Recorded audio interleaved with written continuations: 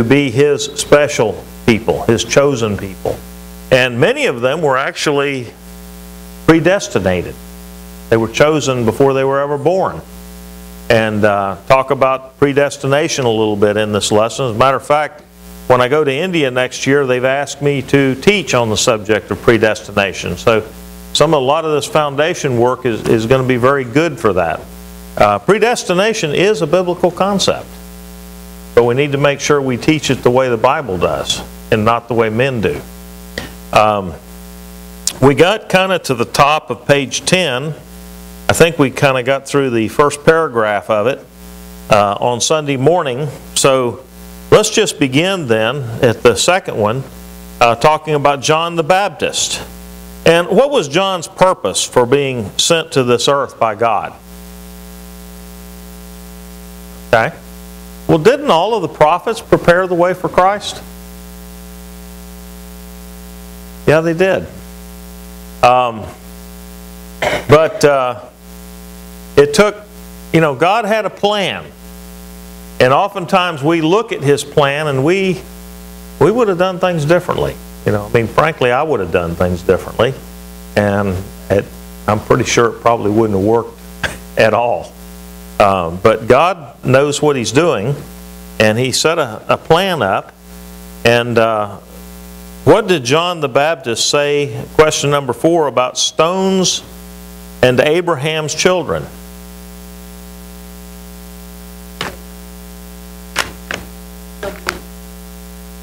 Okay. This is a. When I read this statement, here, I read this question, I got to thinking about it, something clicked in my mind. And you know, sometimes these things click in my mind and they really don't go anywhere. So, pardon me if you don't think that I have anything to say here, but I'm going to say it anyway. Somebody turn to Matthew chapter 16. Let's read verses 17 through 19.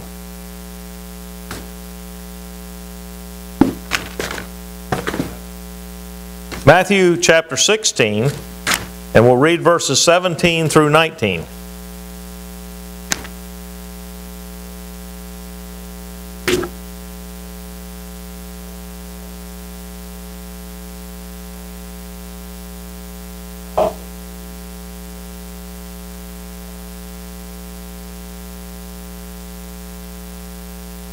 Okay.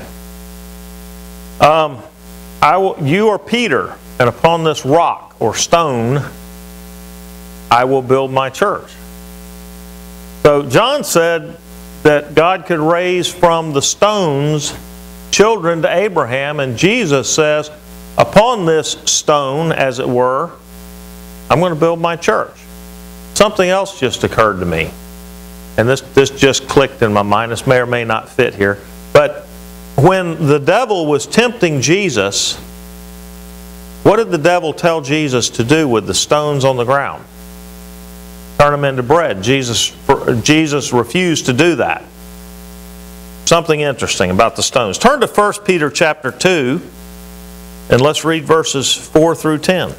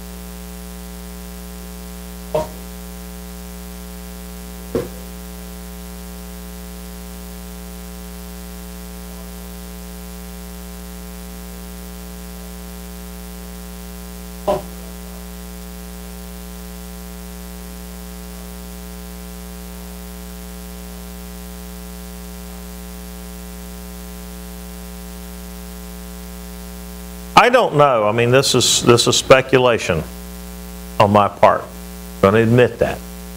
But I just wonder if when Jesus or when John said that, that of these stones on the ground, God can raise up seed to Abraham. Now, that was said by inspiration of the Holy Spirit. I wonder if he was thinking of what Peter was talking about here when he said that. I don't know. And maybe he was setting this up. And, and I, think, I think there is an indication that John was trying to begin to indicate to these people, these Jews, that there were going to be people who were going to become children of Abraham that the Jews wouldn't call children of Abraham. The Gentiles were going to be brought into the kingdom. You have something? Yeah.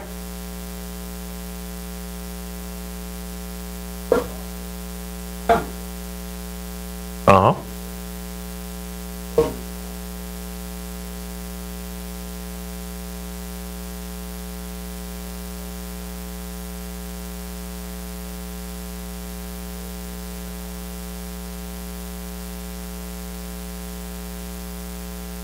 Mm-hmm.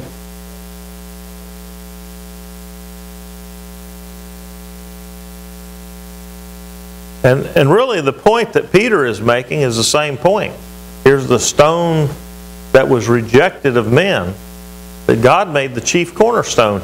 And that stone made these stones of the ground into children of Abraham and caused them to become a holy temple to God. Uh, what did what were the Jews called when God chose them originally? God said that they would be a what? A holy nation, and they would be a kingdom of priests. Did they live up to that? Not at all. But here Peter says, You are a chosen race, a royal priesthood, a holy nation. Now, we're not just a kingdom of priests, but we're royal priests, Peter says. We are priests who are actually kin to the king himself. Um, so we, we are ruling priests, as it were. Um, but we're those stones that were rejected. And the chief cornerstone, who was also rejected, turned around and made us into the stones that build up the building of God. And how, how did this come about? How did, how did the Gentiles, we, become these chosen stones? Turn to Isaiah chapter 55 and let's read verses 6 through 11. Somebody besides Don, wear out his voice here tonight.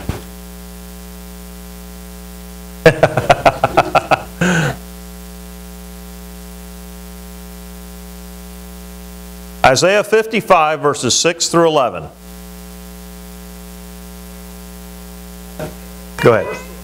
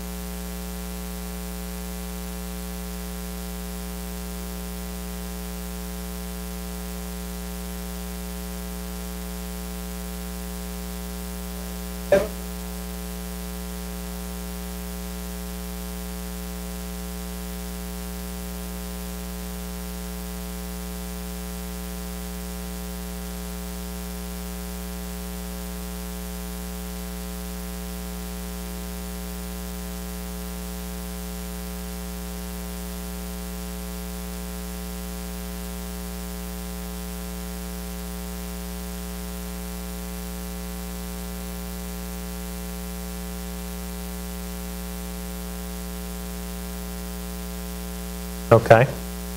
So, how does God affect this making of the stones of the ground seed to Abraham?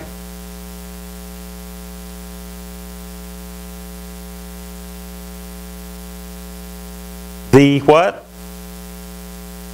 Four letter word. Give you a big hint. the Word. Now, in the beginning, God did what? What?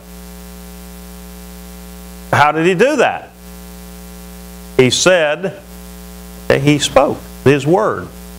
He does everything by the word, doesn't he? From the beginning right on down through, he does everything by the word. And his word is going to go forth out of his mouth, and it's not going to return to him empty. It's going to always accomplish his will.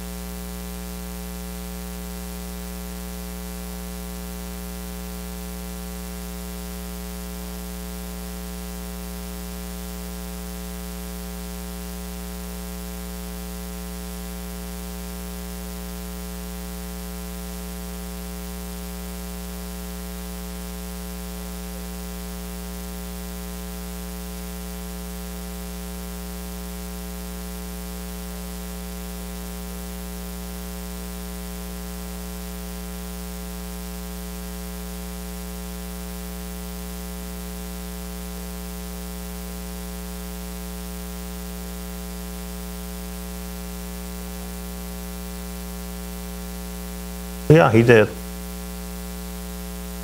No question about it.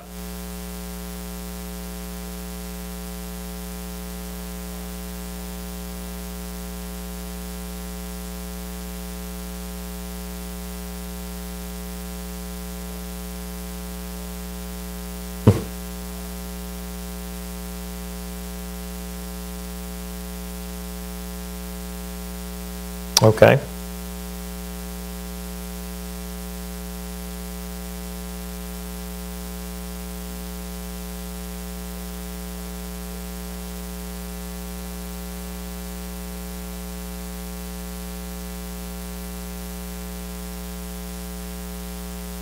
When John the Baptist was preparing the way, he worked within God's word that had been spoken at that time and within that framework. God, God had a certain method to his madness, if you will. Sometimes we call our works. And uh, he, when Jesus came upon the earth, he called upon his Jewish brethren to repent in chapter 4 and verse 17, didn't he? Repent, what is repentance? It's a change, okay? Put it simple, one word, a change, a turning from, turning to something else. So that would be a change. So he told them to change. What did they need to change? Yeah, because the first commandment was what? First commandment with promise is what? Thou shalt love the Lord thy God. Okay? That's it. And the Jews didn't do that. So Jesus is telling them, you've got to turn. You've got to begin to love God with all of your heart, your soul, and your mind. But, uh, but there is, there is something here that's telling the, the Jews that they're not the only ones that are going to be in this kingdom, in this, included in God's chosen people in a very short order. Now, um, Jesus, when he walked upon this earth, he kept the law of Moses perfectly. He didn't violate one commandment of it because Jesus was a Jew. You know, a lot of people uh, a lot of there there was a big I don't know was it 10 or 15 years ago there was a big thing in the news about you know the anti-Semitism you know because the Christians were teaching that the Jews killed Jesus. Well Jesus was a Jew. Yeah he was killed by the Jews but Jesus himself was a Jew. So there's no anti-Semitism in telling the truth there. That's that's just foolishness. But uh, he he kept the law of Moses perfectly but he knew that this institution and this system that had been set up was not the be all to end all, as it was, were, but it was a means to a greater end. And he gave his disciples all kinds of clues that that was going to be the case. Yes, Don?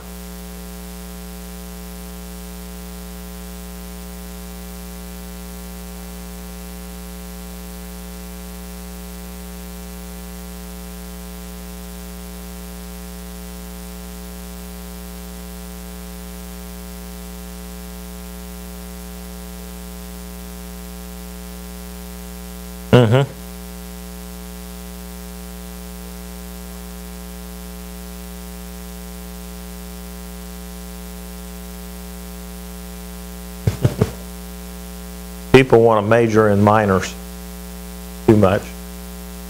Um,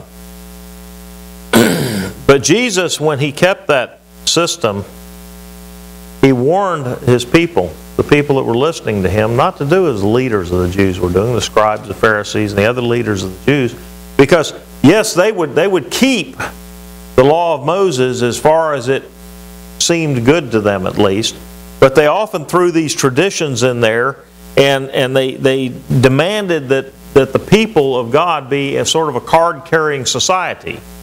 And their idea of this was that, well, you know, I got my card right here that says I'm a Jew, so I'm one of God's children. You know, that enters me into the club. And uh, that wasn't what God ever wanted from them.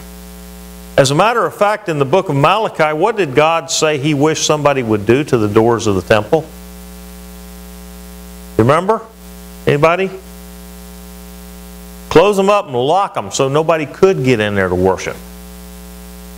Because he said, You're just polluting my altar. You, you know, it's vain worship that you give me, and I, I won't accept it. And what you need is for somebody just to lock the door so you can't get in there. And finally, and we talked about this, uh, was it Sunday or last week? That God said, you know, you won't listen to my word, so I'm going to give you a famine of my word. I'm not going to let you hear my word anymore. And for 400 years, God didn't speak. The written word was there, and the righteous remnant that wanted to know what God's will was could look at Daniel and the other prophets, and they could see that these events that were happening during that 400 year period were all foretold by the prophets, and they could say, Yeah, God, God's still in control, even though He's not talking to us like He used to, He's still in control. This is exactly what Daniel talked about or this is exactly what Hosea talked about, and so on and so forth. And they could see that God was still there. But he said, I'm not going to give you my word anymore. I'm not going to talk to you anymore. And those that weren't faithful, of course, just fell away.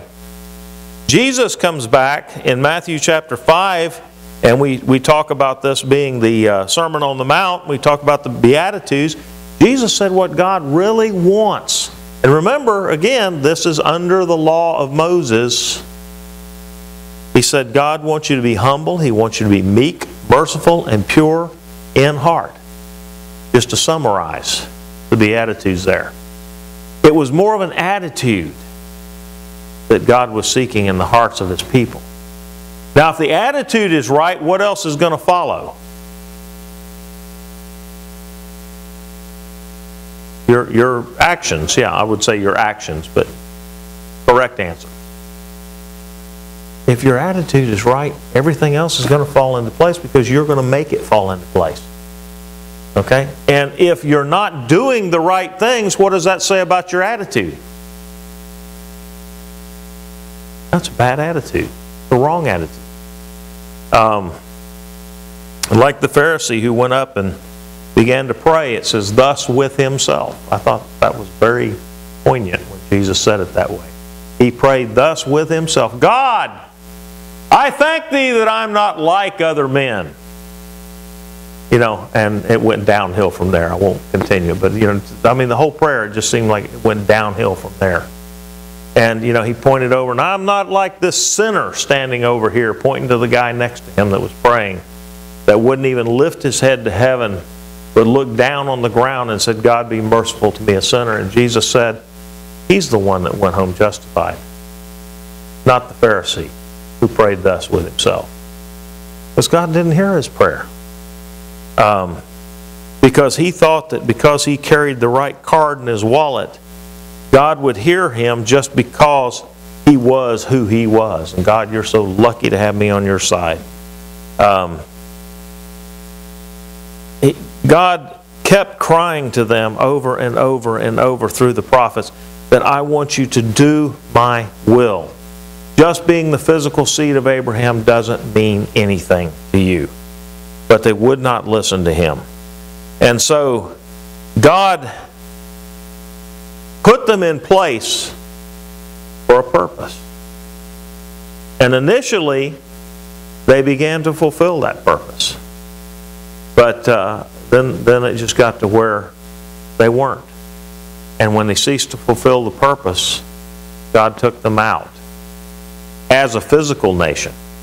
Now, there was a righteous remnant that was doing what God always expected them to do, and they got to keep their card as it was. But the rest of them were thrown out of the kingdom. And, uh, you know, these people, you'll, you'll hear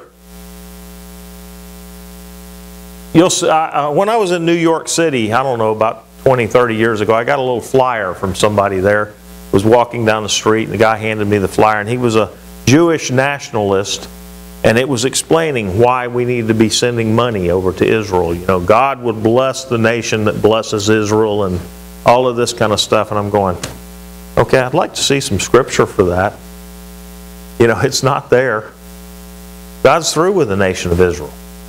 What was the final thing that told the whole world, whether they knew the Bible or not, told the whole world that God was through with Israel?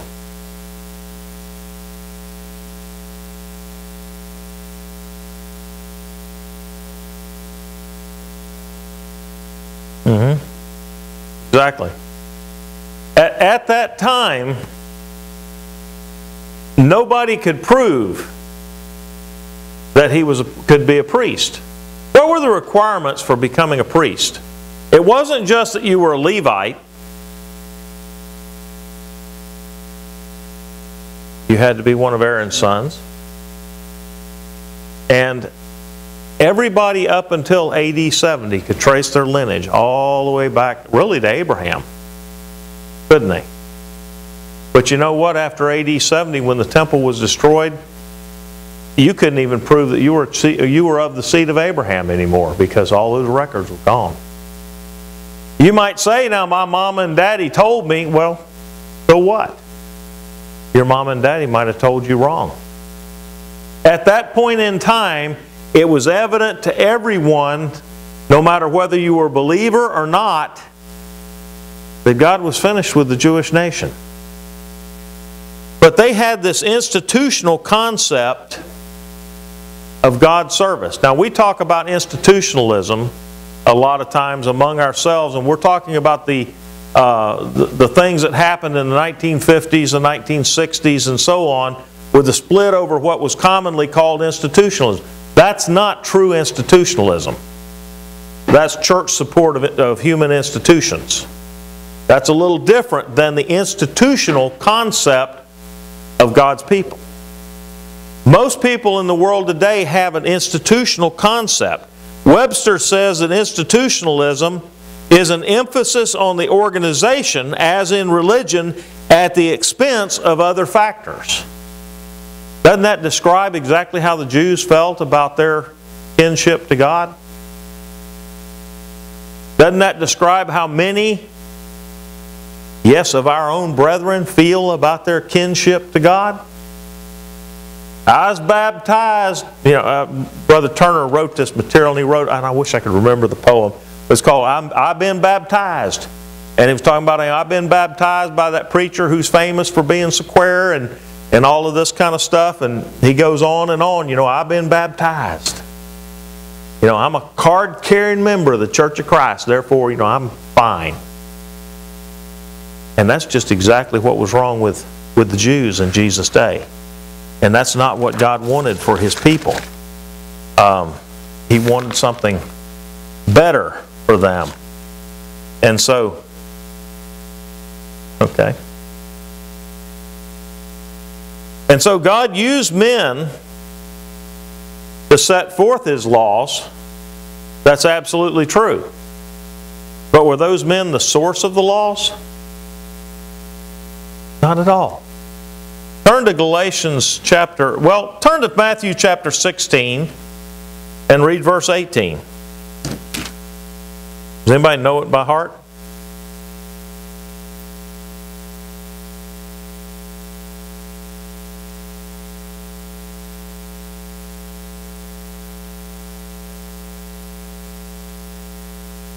Go to, go to through 19.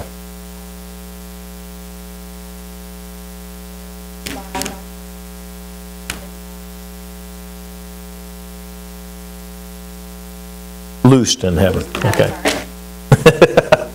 Lost in heaven. Okay. Turn to Matthew 18 and let's read verses. I think it's probably 18 and uh, no, verse 18.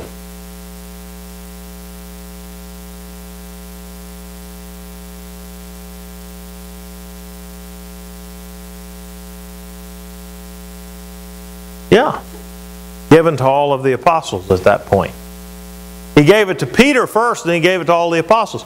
Now, the King James and those manuscripts or those translations that are based upon the King James translations say it a little bit differently. And I think even the American Standard says it incorrectly. Whatsoever you shall bind on earth shall be bound in heaven. But that's not what the words really say. In the Greek, the words say shall have been in the past tense. Whatever you bind on earth shall have been bound in heaven. In other words, the only thing the apostles were allowed to speak was what the Holy Spirit gave was as the Holy Spirit gave them utterance. That's what's being said there, literally. And if the Holy Spirit didn't give them utterance on something, they were not going to be allowed to speak it and teach it. It had to be what God had already decided was truth. And anything else was falsehood, and they weren't going to be able to teach it. Turn to Galatians chapter 2.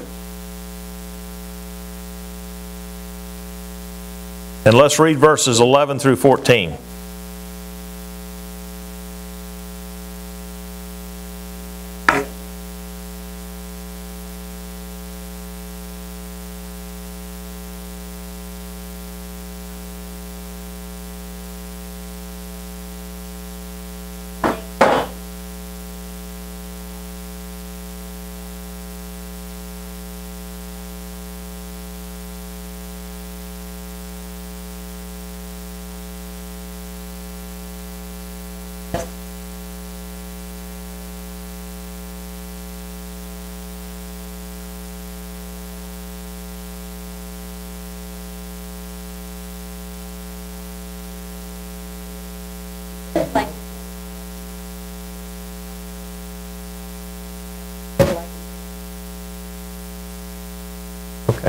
That's fine. Um, so in Galatians chapter 2, we see that here was this inspired apostle, Peter. Did his inspiration keep him from committing sin? Not at all. Paul had to go up there and, and withstand Peter to the face and tell Peter he stood condemned. So even with the power of the Holy Spirit being with him, it didn't keep him safe. Peter had to make some decisions for himself. And he had to make the conscious effort to turn away from sin and turn toward righteousness at all times, or it wasn't going to happen. So, in fact, these men who had the Holy Spirit, they could only teach the truth by the Holy Spirit, but that didn't mean that they couldn't sin. But they were not allowed to get together and decide what church doctrine was going to be and then impose that upon men. Some people look at the uh, council that was in, in uh, Acts, was it, 18? 15, thank you. Um, yeah. The council at Jerusalem, well, you know, all these preachers got together and they decided upon what was going to be right. It wasn't what happened there. The other disciples, or the other apostles, and many of the disciples in Jerusalem had questions about Paul teaching the Gentiles the truth. And they said, What in the world is Paul doing? And Paul went to them and began to talk to them. And they said, Wow, we've seen all of these. We've seen this power of the Holy Spirit. And it's undeniable what's going on here. The Gentiles have also been ushered into the kingdom. And so it was not a council to decide truth, it was a council to listen to the truth, if you will. And, uh, and Paul and Barnabas, you might say, set them straight. Now, just because someone today is a preacher or the son of a preacher doesn't mean that they're right. You know, we have in many of the guys that I went to Florida College with are, are preaching the gospel now, and many of their fathers were preachers. And uh, oftentimes, you know, when a man becomes a preacher, his son will become a preacher. And this is especially true in India because the oldest son is typically thought in India that it, he should take up the family business. You know, whatever that is, he should go into the family business. So if daddy is a Hindu priest, then the eldest son should be a Hindu priest, you know, or, and so on and so forth. And it carries over to the Christians there because that's their culture. But the fact that my daddy was Mr. Famous Gospel Preacher doesn't mean anything. But I've heard some of these guys, you know, on Facebook, you know, I hear get all these comments and stuff. And I've seen one or two of them on Facebook come out with a thing of, you know, well, my father taught me this, and I've taught this all my life, so it must be right. That doesn't hold water. That isn't what God wants. He doesn't want an institutional religion. You think of Eli's sons, for example. You know, Eli was one of the most faithful prof- or priests and prophets that there was of his day, but his sons were filthy, evil men. And Samuel uh, had to break the news to Eli that God was going to destroy Eli and kill his sons because of their evil and because Eli did not restrain them. Then later on, what happened with Samuel's sons? Same thing. Now, it does not say, I'll, I'll, say this, it does not say about Samuel's sons that they lay with the women at the door of the temple, like it does about Eli's sons. But they took bribes and they perverted justice. And so, really, they were just as bad as Eli's sons. That has always struck me as being odd after Samuel saw what happened with Eli's sons, that he didn't do a better job of teaching his sons. I, I can't be the judge of that. I don't know. He may have taught them and they may have made their own decision. It's possible.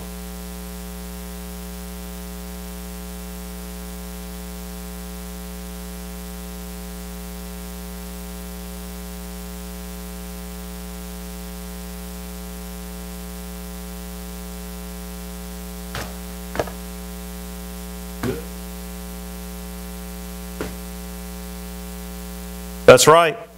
And sometimes it just doesn't matter what you teach them um, and how diligently you are, you are about it because everybody is a free moral agent. We have the power to choose. And that's the way God made us, in His own image. God's a free moral agent, and so are we. And so we're made in His image. And I think that's one of the things that's meant there when it says we're made in the image of God.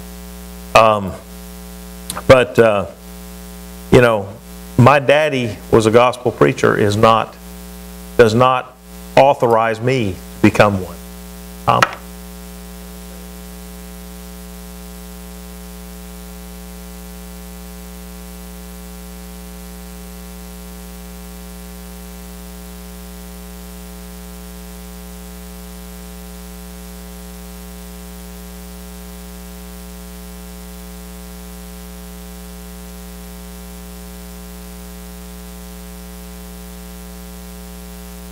Mm-hmm.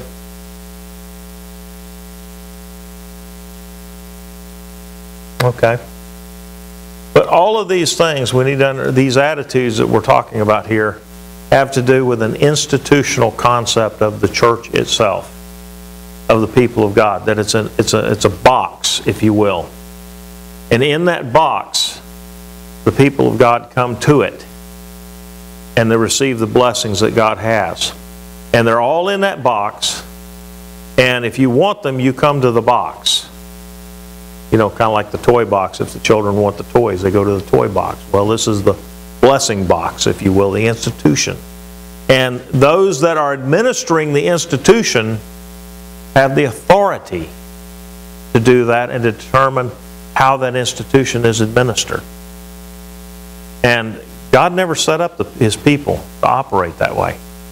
And I think, are we about out of time? Got two more minutes? Okay. Um, study in Matthew chapter 5 a little bit this next week before you look at the next one, if you haven't already done so, in question number 5. And think about how the Beatitudes mimic the Ten Commandments. Um, because in reality, when Jesus talks about the Beatitudes here, isn't he really talking about the Ten Commandments? In effect? But what he's doing here is he's getting to the root of the Ten Commandments. Thou shalt not commit adultery, but what did Jesus say? Whosoever looketh to lust after in his heart hath committed adultery. And so here in the Beatitudes, Jesus gets to the root of that. You keep your heart pure. What did Proverbs in chapter 4 say? Keep thy heart with all diligence, for, anybody know? What? I think, I think you said it. Okay, out of it spring forth the issues of life. That wasn't the translation I memorized it in, but that's close enough.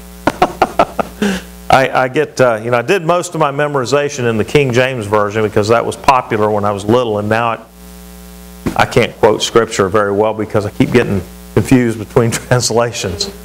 Um, I switch back and forth in the middle. But uh, keep your heart with all diligence. God never was so con concerned with people's actions as He was with their heart. Because He understood from the very beginning that if their heart was right, their actions would follow. Now, that doesn't mean that if you just love God, everything is going to magically fall into place. What it means is if you love God like you should, you're going to make it fall into place. And if you look at it that way, you're looking at it the way the Scriptures do.